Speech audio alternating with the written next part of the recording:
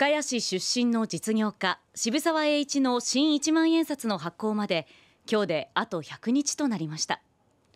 新紙幣の発行を記念して深谷市で行われた100日前イベントにはおよそ800人が参加しお祝いムードに包まれました。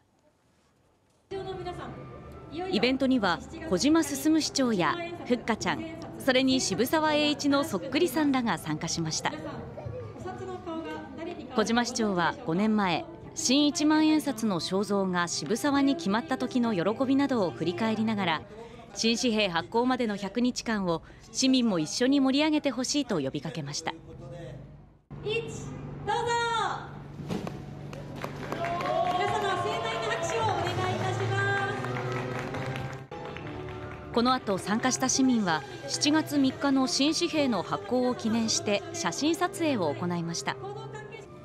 市は今日から7月2日まで毎日市にゆかりのある人たちの写真やメッセージとともにカウントダウンを旧ツイッター X で発信しお祝いムードを高めていきます。